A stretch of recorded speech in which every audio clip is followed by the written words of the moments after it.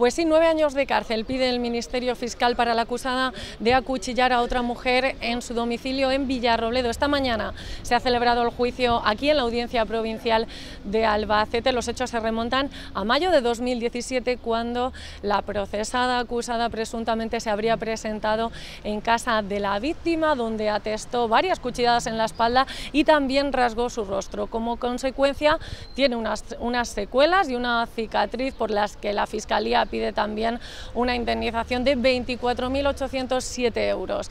Parte de esa indemnización iría a parar también para los servicios de atención sanitaria.